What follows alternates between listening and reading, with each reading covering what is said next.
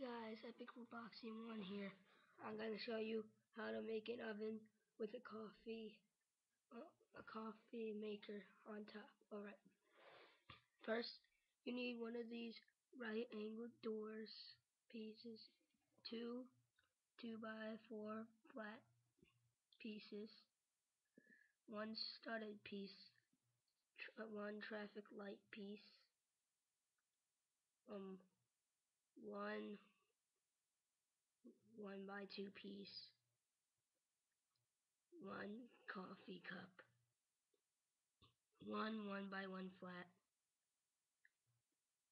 this um, angled piece, uh, two by two flat smooth, and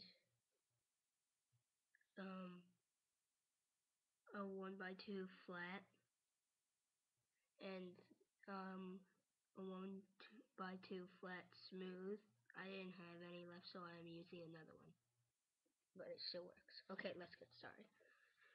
Take your base plate, take the oven, put it like that.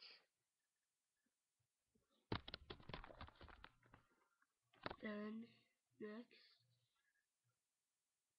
you get the traffic light piece and the stud piece, put the stud piece on and put it right next to the oven. Mm. And then you take two one by ones and put them on the back right here. So it will look like this so far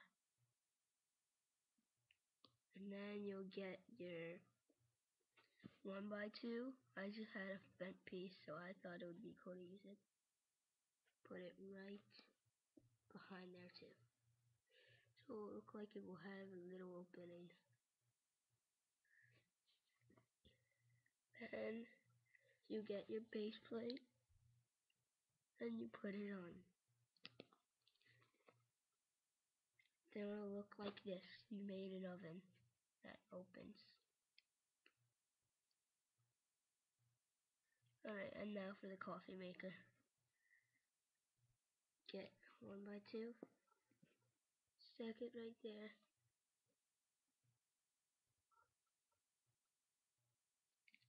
Get the coffee. Put it right there. Get the last one by one. Put it right behind it. Then get a one by one flat, put it on top, and then get your one by two smooth flat piece, put it over like that.